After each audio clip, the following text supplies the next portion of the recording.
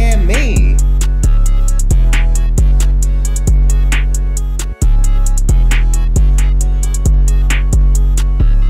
I keep pepper spray so somebody won't